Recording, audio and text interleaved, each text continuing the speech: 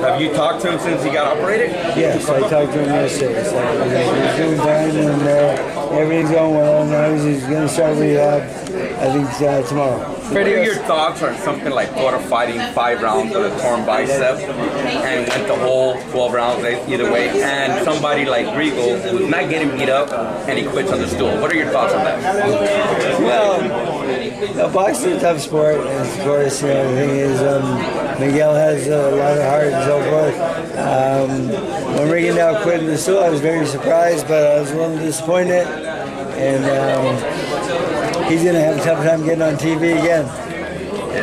I mean, because he's a counter puncher, he's a little bit boring, boring style, and now he quit. On top of that, doesn't look good. Who has the best chance to beat Lomachenko, in your opinion, Freddie? Mm, maybe by gun. He's that good? no, I'm just kidding. Um, but he's a good fighter, great footwork, uh, fast hands, great combinations. He really looked good, good the other night. Uh, um, he's gonna be tough to beat. I mean, uh, you know, 500 wins as an amateur, one loss. I mean, this guy is a very, very, very good fighter. Freddie, um, great fighters do great things. They dare to be great. Is what Lomachenko did that night was that great?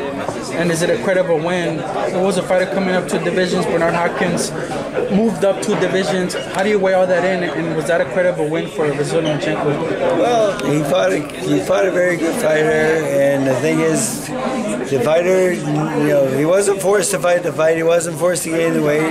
He signed the contract and he fought. He, he signed to fight the fight. So he put himself in that position. I mean, he thought he, he would win. He promised me he would knock him out, but um, it didn't come true. But, uh, but uh, you know, he fought a very good fight, and uh, I don't think we. I don't think we should criticize him for the guy being smaller. I mean, this happens all the time. You know, it's challenges, weight classes, and so forth. And um, uh, he was actually way too big for him, it seemed like, and um, and too strong and uh, and too fast. I mean, there was a lot of factors that were on his side. It wasn't just his. It wasn't just his size. He was better in all areas. Yes, um, Bob Arum seems to be sold on Lomachenko's greatness, gone as far as to say that he hasn't seen anything like that, even Muhammad Ali, Manny Pacquiao, all these great fighters, you know, he feels as if it's something different. What did you make of those comments if you heard?